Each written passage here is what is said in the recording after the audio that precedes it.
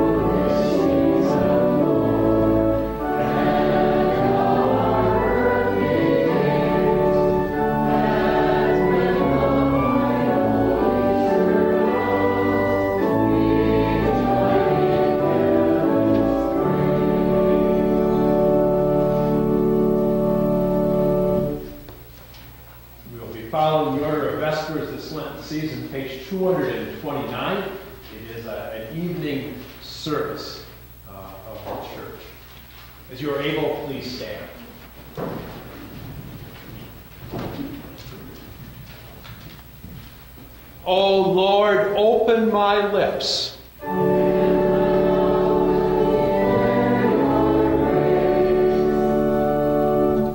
Make haste, O God, to deliver me.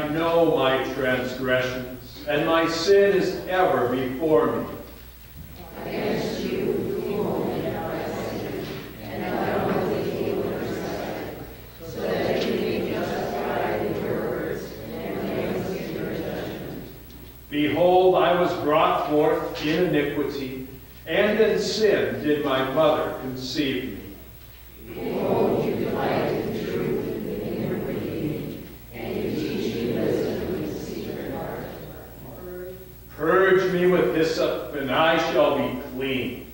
Wash me, and I shall be whiter than snow. Let me hear joy and gladness. Let the bones that you have broken rejoice. Hide your face from my sins, and blot out all my iniquities. Create in me a clean heart, O God, and renew a right spirit within me. Cast me not away from your presence, and take not your Holy Spirit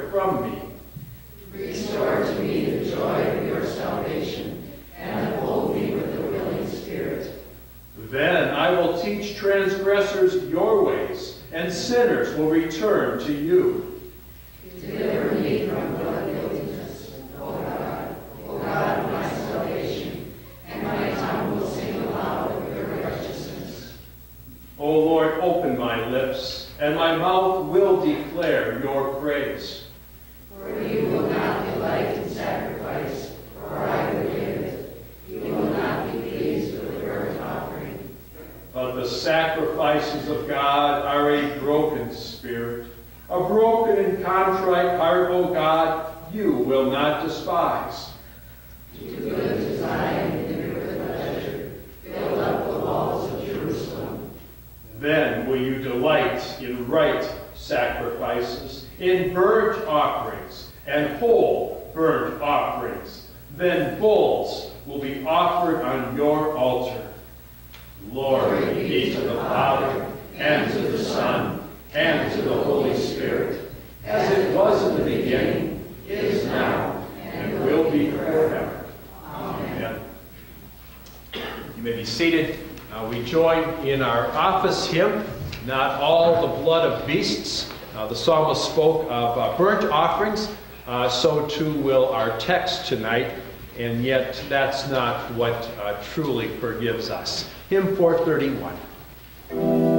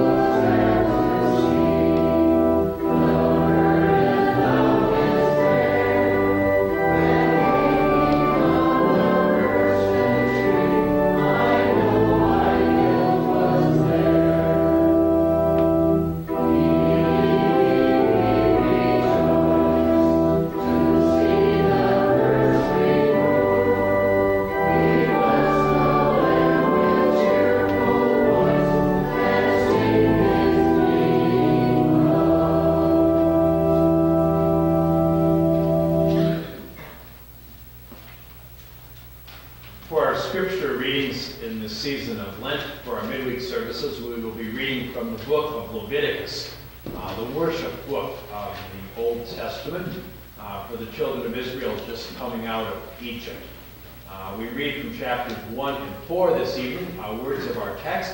Uh, chapter 1 speaks about the burnt offering, and chapter 4 about the sin offering. The Lord called Moses and spoke to him from the tent of meeting, saying, Speak to the people of Israel and say to them, When any one of you brings an offering to the Lord, You shall bring your offering of livestock from the herd or from the flock. If his offering is a burnt offering from the herd, he shall offer a male without blemish. He shall bring it to the entrance of the tent of meeting, that he may be accepted before the Lord. He shall lay his hand on the head of the burnt offering, and it shall be accepted for him to make atonement for him. Then he shall kill the bull before the Lord. And Aaron's sons, the priests, shall bring the blood and throw the blood against the sides of the altar, that is, at the entrance of the tent of meeting. Then he shall flay the burnt offering and cut it into pieces, and the sons of Aaron the priest shall put fire on the altar and arrange wood on the fire, and Aaron's sons the priest shall arrange the pieces, the head, and the fat on the wood that is on the fire on the altar, but its entrails and its legs he shall wash with water. And the priest shall burn all of it on the altar as a burnt offering, a food offering with a pleasing aroma to the Lord. And from chapter 4. If the whole congregation of Israel sins unintentionally, and the thing is hidden from the eyes of the assembly, and they do any one of the things that the Lord's commandments ought not to be done, and they realize their guilt, when the sin which they have committed becomes known, the assembly shall offer a bull from the herd for a sin offering, and bring it in front of the tent of meeting.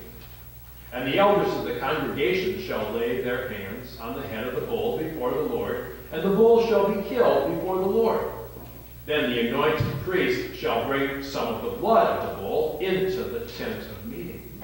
And the priest shall dip his finger in the blood and sprinkle it seven times before the Lord in front of the veil. And he shall put some of the blood on the horns of the altar that is in the tent of meeting before the Lord, and the rest of the blood he shall pour out at the base of the altar of burnt offering that is at the entrance of the tent of meeting. And all its fat he shall take from it and burn on the altar. Thus shall he do with the bull. As he did with the bull of the sin offering, so shall he do with this. And the priest shall make atonement for them and they shall be forgiven.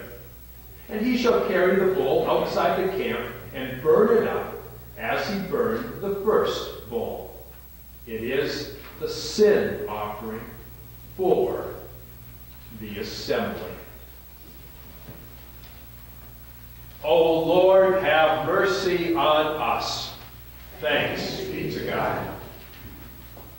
And our epistle from the book of Hebrews.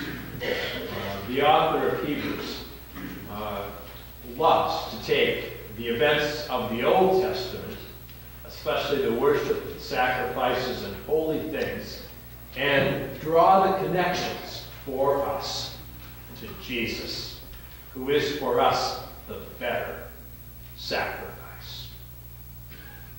For since the law has but a shadow of the good things to come, instead of the true form of these realities, it can never, by the same sacrifices that are continually offered every year, make perfect those who draw near. Otherwise, would they not have ceased to be offered? Since the worshippers, having once been cleansed, would no longer have any consciousness of sin? But in these sacrifices, there is a reminder of sins every year. For it is impossible for the blood of bulls and goats to take away sins. Consequently, when Christ came into the world, he said, Sacrifices and offerings have you have not desired, but a body have you prepared for me. In burnt offerings and sin offerings you have taken no pleasure.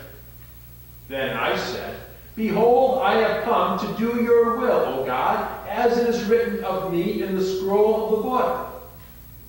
When he said above, You have neither desired nor taken pleasure in sacrifices and offerings and burnt offerings and sin offerings, these are offered according to the law.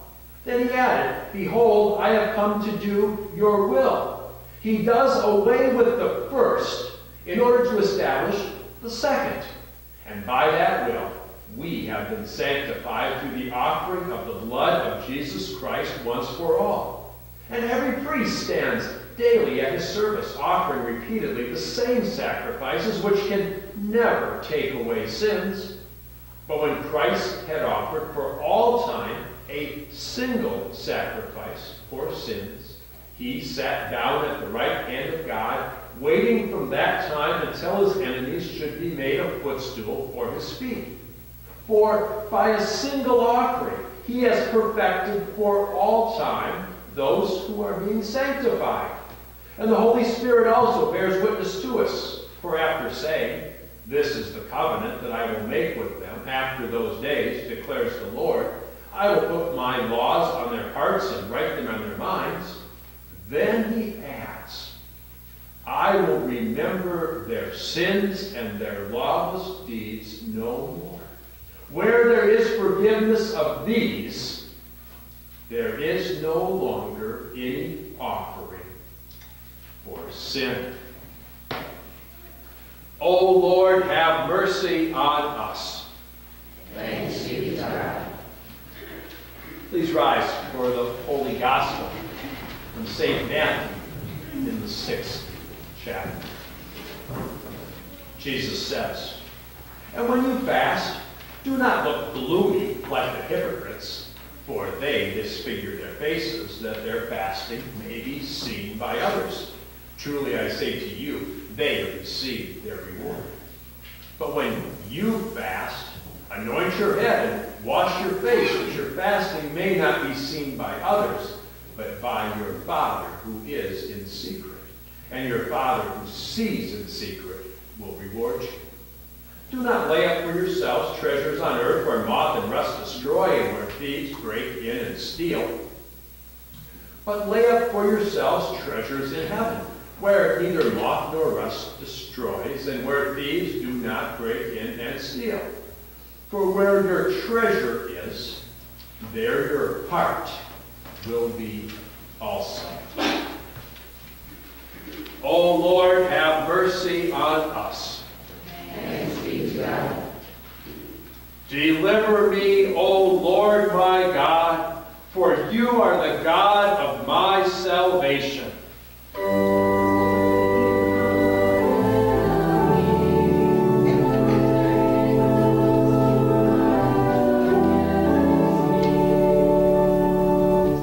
In you, O Lord, do I put my trust. Leave me not, O Lord my God.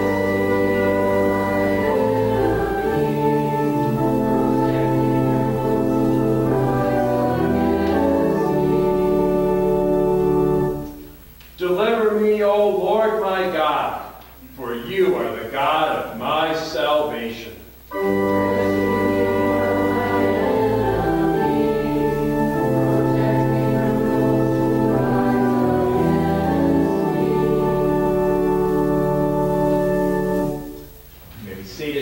Our servant hymn is hymn 438. Uh, note how the words of this hymn uh, speak of Jesus as that sacrificial animal, that sacrificial lamb uh, that goes forth willing uh, to be sacrificed for us.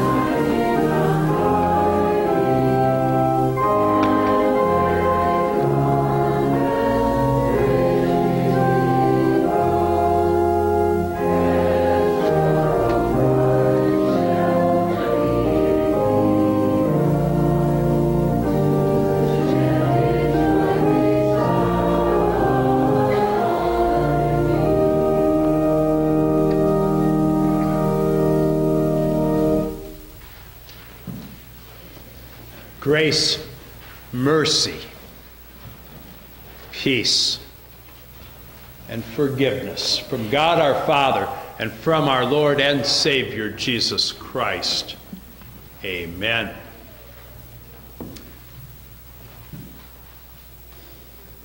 Do you know which book of the Bible it is that Jewish children were first taught? Not Genesis, the beginning of the world, or the patriarchs, Abraham, Isaac, Jacob. Not Exodus, the great escape. Not any other book of the writings or the prophets, but this book, Leviticus. This is where the Jewish children used to start as they learned about God and His Word. The children of Israel, they had just come out of the land of Egypt. 400 years of being slaves. Before that, it was just 70 people, a small tribe. Now they come out, a couple million people, free for the first time. And so God lays out for them what it means to be His people and the holy lives they are to live and the, the traditions and, and the way to worship and all these things He gives them, these holy gifts. We're going to, this season of Lent, work through the book of Leviticus, not every verse, but, but key holy things throughout this book. And every week we will see not only a holy thing, like tonight, holy sacrifices, but each week also how these holy things point to Jesus. And, and the book of Hebrews every week will help us to see that as well. Tonight, um, our outline is very simple. Um, first, animal offerings, and then the Jesus offering. The children of Israel have had a bit of experience with sacrifice because as they came out of Egypt, what did they do? They had to sacrifice a lamb and take the blood and paint it on the doorposts of the house. Well, now they have left Egypt, gone through the Red Sea, they are in the wilderness. And the first seven chapters of Leviticus are about offerings, sacrifices, animals, and grain being brought to the tabernacle and burned there, and sometimes eaten. In our text tonight, um, of all the different kinds of offerings, we're going to focus on two the burnt offering and the sin offering. The two that were mentioned in, in our psalm reading, Psalm 51. These offerings, they may seem strange to us, but for the children of Israel, they were at the heart of worship. When they came to the tabernacle, where did they come? They came to this big square altar covered with bronze. It was a big box with a grate over the top and fire inside and stuff burning on top of the grate. And chapter 1, where does God begin with these offerings? What kind of offerings? Burnt offerings. And, and what kind of offerings are they? They're offerings that are entirely burnt up. They're not eaten by the people, they're not eaten by the priests. They're just given to God. And they're not burnt in a really hot fire that just consumes them, but they're burnt over a slower fire so that they would, would smolder and smoke, and the aroma would go high to heaven. We talked a few weeks ago about Jacob's ladder, when Jacob had his dream and he saw the ladder going to heaven, and we said, right there, when Jacob woke up, he said, This is the gate to heaven. This is where God is. Well, for the children of Israel, here, the tabernacle, here, this altar, it was the gate of heaven. It was where God came down to meet his people. And every morning and every evening, a bull would be sacrificed for the whole people of Israel. One bull, morning and night, day after day after day. And all day or all night, it would burn and smoke as an offering to God. But here in our text, God says, in addition to that one bull for all two million people, you, yes, you yourself can make your own offering to God. And as you do, you can know this I will be with you, I will come to meet you in a favorable way. Yes, you, children of Israel, you who grumble, where's the food? Manna? We're tired of manna. Quail? We're tired of quail. Water? We don't like this water. They grumbled and complained all the time. How should God meet them when He met them? He should have smote them, should have come in anger. But God says here, bring a burnt offering, and I will come and meet you in favor. I will smile upon you. You can know this is my promise that as you come to meet me at the tent of meeting, I will come with grace. And so a person or a family could bring an offering, and after the main bull was offered for the morning or the evening, then individual animals would be sacrificed. And, and, and the, the husband would, would be the one who would kill, and, and he, and together with the priest, would, would do all of the work of that sacrifice. And if you were a rich person and you wanted to bring a huge offering to God, it could be a bull. And if that was too much or you didn't have a bull, you could bring a sheep or a goat. You could even bring a couple of turtle doves or a couple of pigeons. And that would be the offering. And no matter what it was, you would know that was God was coming in a favorable way towards you. And it is for atonement, our text says. That means forgiveness. That blood would be splashed on the altar. Now, as we think of it, it was a stinky, smelly mess.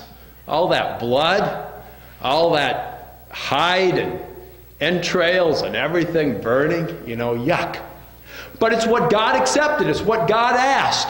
It was a holy thing, and it had God's promise. Here I will be favorable towards you the, the father would take his hand as he brought the animal. He'd put his hand on the head as he brought it to the priest and said, Hey, this is my offering. He would identify it as his own, claim it as what he is giving to God.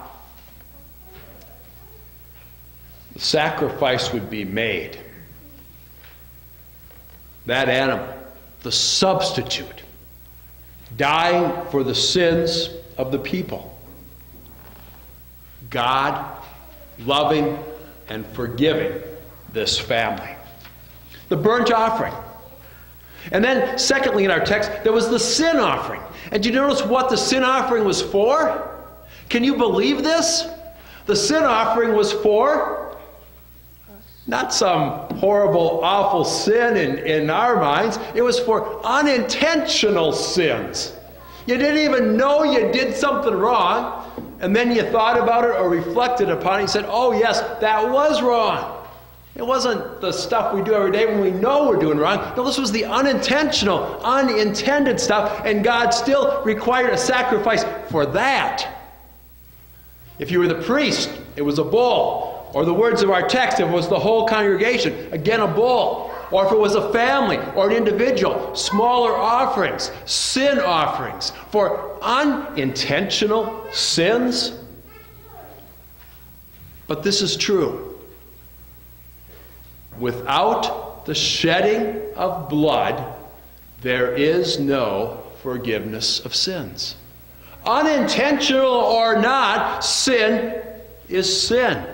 Sin wrecks our relationship with God, and so God lays out even offerings for unintentional sins, that the people might realize how awful even those sins were. They cost that animal its life.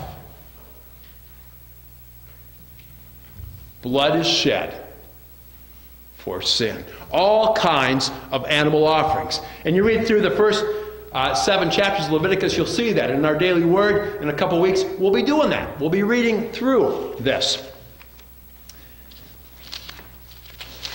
But we're here tonight not just to talk about those offerings, because as we read in Hebrews, yes, those offerings were made and commanded by God, but guess what? Verse 4 of Hebrews it is impossible for the blood of bulls and goats to take away sin. It wasn't that bull or that goat that forgave any sin. They were simply pointing forward to a new sacrifice, to the Jesus offering that was yet to come. Those sacrifices, those bulls were offered day after day, morning and night. Sin was continual, animals being burned up all the time. But none of them, and not all of them together, paid for the sins of the people. There was only one one sacrifice that did that, that could do that. The sacrifice of the Lamb of God, the perfect Lamb of God, the Lamb without blemish or defect, Jesus Himself. Fully perfect, fully human, fully God, willingly dying, giving up His life. Christ does in one death what all those animals could not do. And so for us today, our worship is not built about around some big wooden box that's full of blood and flies and stink, not the crying of animals as they die. No, our worship is different. Our worship is focused here, a different altar. The altar of God, not an altar filled with the blood of animals, but an altar on which sets the blood and the body of Jesus. That one sacrifice has paid for all of our sins. We don't have to worry about those kind of offerings, about bringing animals and burning them up and all of that. You see, God delights in Jesus' offering. We heard on Sunday, Transfiguration, what did the Father say? This is my beloved Son. With him I am well pleased. The Father loves the sacrifice of Jesus. Heaven comes down to earth. Yes, on the Mount of Transfiguration. Yes, at the temple. But most of all, to the cross. And through the cross, to all of us.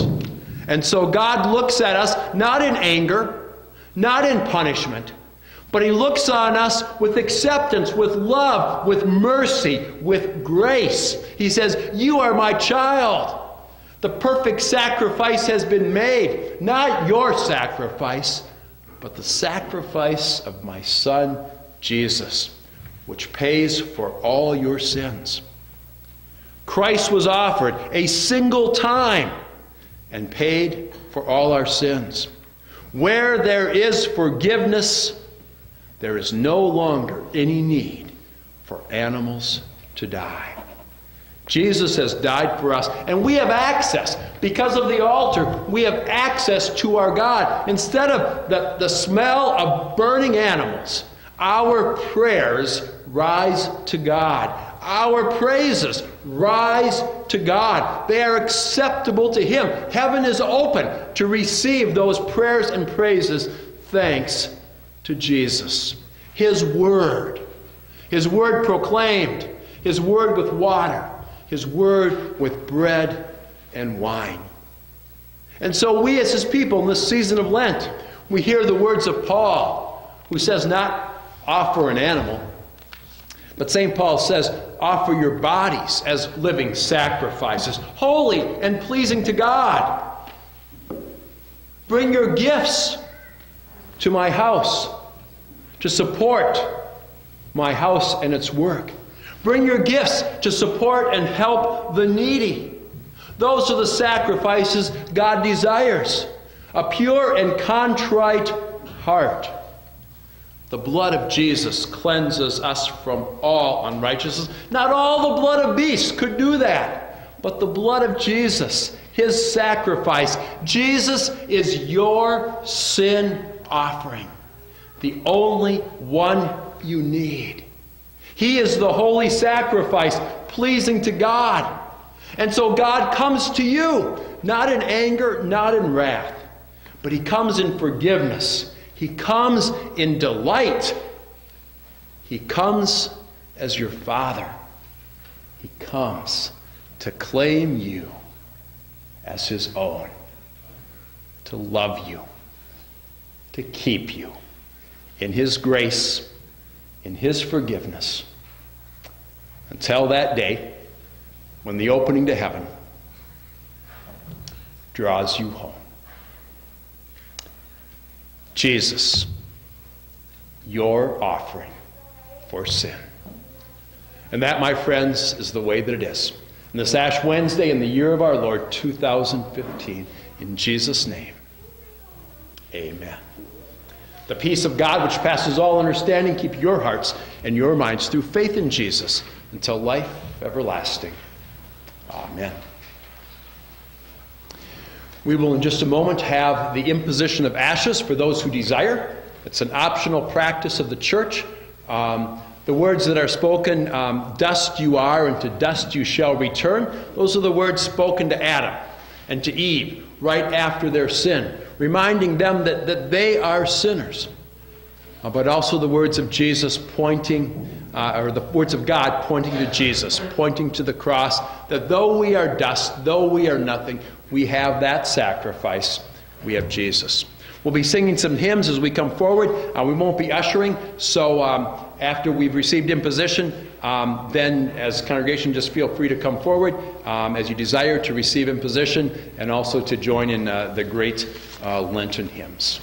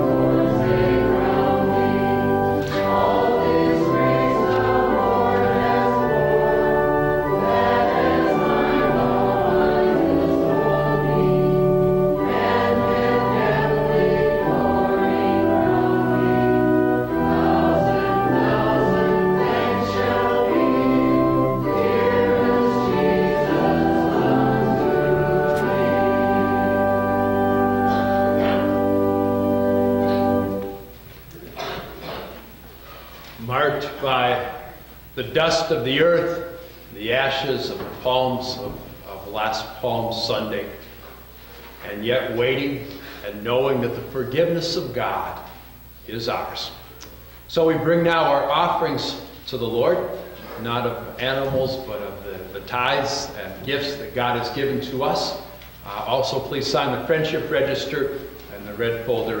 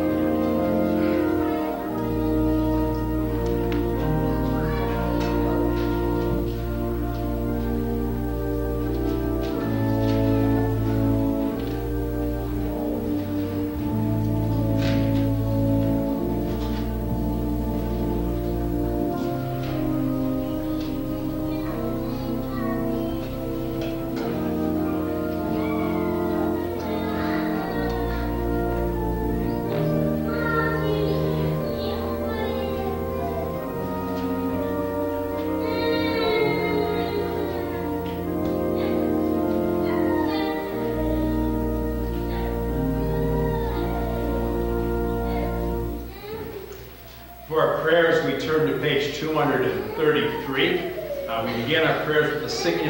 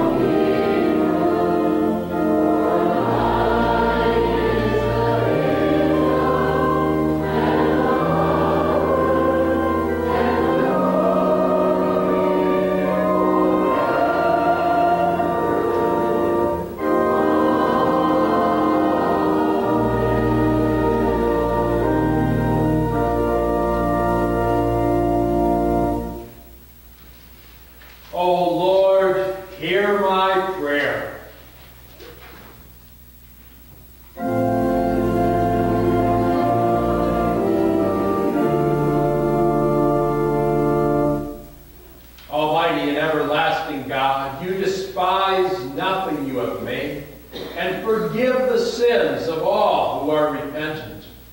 Create in us new and contrite hearts, that lamenting our sins and acknowledging our wretchedness, we may receive from you full pardon and forgiveness through Jesus Christ our Lord.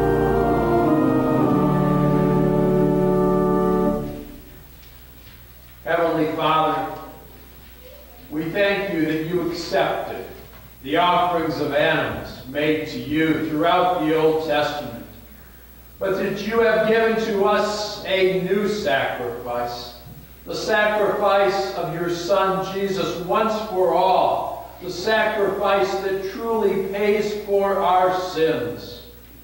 So enable us always to live in faith and enjoy and in trust in this sacrifice, and to offer our lives and bodies as living sacrifices to you and to those around us in need. Keep us in the true faith with our eyes fixed on Jesus until that day when you will call us home. This we pray through Jesus Christ our Lord.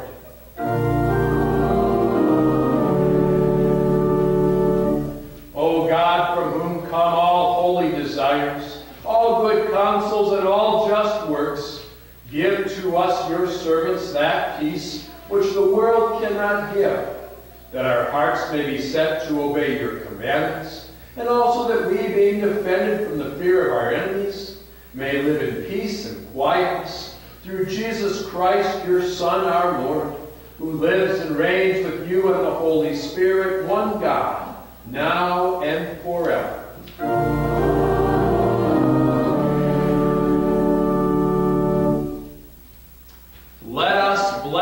The Lord.